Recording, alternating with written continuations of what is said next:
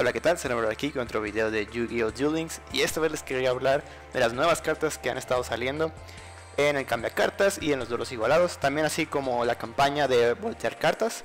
Así que primero empecemos por esa campaña. Esta nada más trae una nueva carta y también Flamewell Grunica, la cual ya era una carta que ya había salido antes, monstruo 1700 de fuego.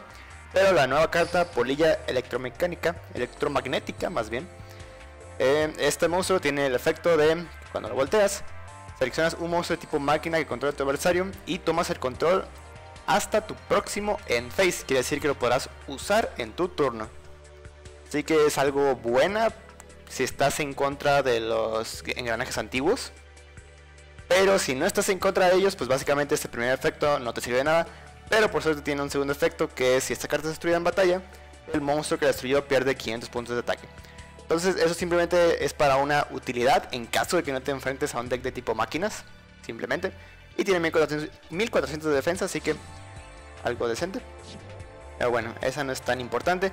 Luego tenemos activación de limitar el cambio de cartas. Primero una nueva ultra rara, cazadora del caos. 2500 de ataque, tiene 7, 7 estrellas, sí, 2 sacrificios. Dice, cuando tu adversario invoca un monstruo de modo especial, excepto durante la Bad Damage Step, puedes descartar una carta e invocar esta carta de modo especial desde tu mano. Tu adversario no puede desterrar cartas. Es, es un poco fácil de hacer eso de convocarla especialmente, pero si tu adversario está convocando especialmente, generalmente va a ser de que un ritual, como por ejemplo Dakini, o un monstruo de Red Eyes, por ejemplo, que tiene 2400 y esta nada más tiene 2500, entonces nada más con que tenga la habilidad paliza, ya el Red Ice te superó. Así que no es tan buena que digamos su efecto de convocarse especialmente. Y bueno, también lo de desterrar, no, no hay muchos deck metas ahorita que destierren cartas, así que no es nada buena. Pero bueno, ahí es otra carta ultra rara que tenemos. Luego tenemos Desertapir Oscuro. Dice, cuando esta carta es retirada del juego, puedes seleccionar un monstruo de tipo bestia de nivel 4 o menor en tu cementerio e invocarlo de modo especial. Ahorita no hay decks de bestias muy poderosos, así que no hay, tanto no hay, no hay tanta efectividad para este efecto.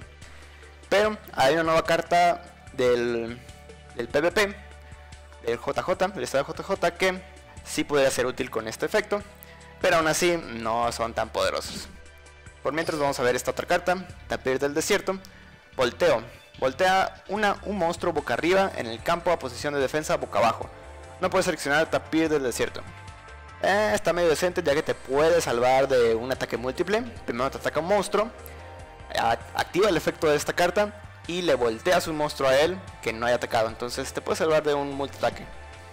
Pero sí, ahora sí, vámonos con la actualización de los igualados. Esto trae nuevas cartas. Y primero quiero, quiero decir la carta bestia que estaba señalando antes. Calantosa. Dice, si esta carta es invocada de modo especial, que es precisamente lo que el tapir oscuro hacía, por el efecto de un monstruo de tipo bestia, puedes seleccionar una carta en el campo y destruir ese objetivo. Su efecto es muy bueno, pero para activarlo es un poco difícil. Pero bueno, por eso está el tapir oscuro, que puede revivir un monstruo del cementerio el campo. Entonces ahí se puede activar este efecto. Pero aún así, como digo, es difícil ya que tienes que desterrar el tapir y no sé qué. Entonces, bueno, ahora sí vámonos por las que interesan, que son nuevas super raras. Incautador de criaturas. Cada jugador le da a su adversario el control de uno de sus monstruos a elección del controlador. Tú debes de elegir un monstruo normal boca arriba. O sea, nosotros, el activador de esta carta, tiene que elegir un monstruo normal boca arriba para darle posesión y el adversario puede elegir cualquiera de los suyos. Entonces, esta es buena para tener el control de un monstruo poderoso, pero siempre y cuando sea el único, ya que si tiene más de uno, pues obviamente te va a dar el control del que más le convenga a él, ¿no? Así que si tiene un solo monstruo es muy buena, y si tienes un deck de monstruos normales, perfecto. Es muy buena. Y bueno, la siguiente también es para deck de monstruos normales. Solo puedes equipar esta carta a un monstruo normal. Si batalla con un monstruo de nivel más alto, el monstruo equipado gana 500 por la diferencia en niveles. Durante esta batalla solamente. Cuando esta, esta carta es mandada al cementerio, puedes devolverla a la parte superior del deck. Ahora, puedes devolverla es que tú eliges si sí o no. Así que, pero como digo, es muy buena ya que eh, a partir del nivel 5 ya los niveles empiezan a incrementar un poco más difícilmente. Quiero decir que los monstruos de nivel 6, por ejemplo, a lo mucho tienen 2600 de ataque. Entonces, un monstruo de nivel 4 con 1800 equipado con esto fácilmente le llega a 2800, entonces lo supera muy fácil. Y obviamente si te enfrentas a un dragón blanco y azul que tiene 8 estrellas, vas a tener 2000 más de ataque. Así que fácilmente superas a cualquier monstruo sacrificio con esta carta. E igual si lo usas en un deck Ohama, también es muy bueno. Así que está bien. Luego tenemos Transmodificador.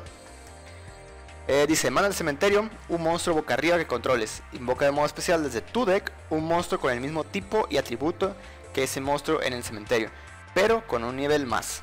Solo puedes activar un transmodificador por turno. Ahora, esto es exactamente lo mismo que la habilidad de, de Mokuba. Nada más que esta es convocación especial, es la única diferencia.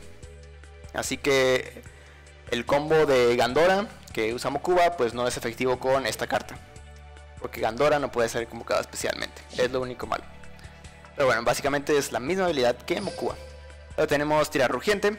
Si un monstruo de tipo BC que controlas ataca a un monstruo en posición de defensa, inflige daño de batalla de penetración a tu adversario. Si inflige daño de batalla a tu adversario con este efecto, selecciona un monstruo boca arriba que controla tu adversario. Ese objetivo pierde 500 ataque y defensa. Ah, está decente. Pero igual, es, son decks de bestias que no están ahorita en el meta. Tal vez lo que quieran hacer es sacar un poco el Land of Titans para que la gente lo compre, ya que sabe que es el que menos compran. Así que sí. Y bueno, las demás son de eventos anteriores. Eh, Princesa de la Barrera de Hielo, por si les hace falta a alguien. Es buena para crear un deck de barreras de hielo. También tenemos Atún lo que significa que Pegasus no dará esta carta como recompensa. Y está bien, ya que pues Atún es súper rara y no es tan buena. Entonces está bien que no tenga esa carta como recompensa, sino que nos dé otras cosas. Y las otras dos son de Marik, me parece. Así que sí, si a alguien le hace falta alguna, ahí están. Pero sí, las únicas cartas a considerar de todas estas nuevas, incluso el cambia cartas, creo que nada más serían estas dos, para, y ambas son para decks de tipo normal. Dex Beatdown de tipo normal, básicamente. Y sí. Pero bueno, eso sería todo por este video. Muchas gracias por verlo. Recuerden darle like si les gustó y no olviden suscribirse al canal, así como seguirme en las redes sociales si lo desean. Nos vemos en la próxima. Bye.